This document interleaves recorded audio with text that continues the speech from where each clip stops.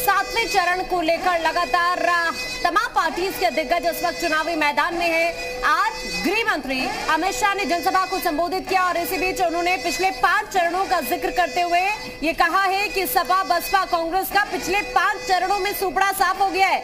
अगले दो चरणों में बीजेपी की ट्रिपल सेंचुरी पूरी हो जाएगी। 10 मार्च के बाद विपक्षियों की बोलती बंद हो जाएगी कहते हुए गृह मंत्री।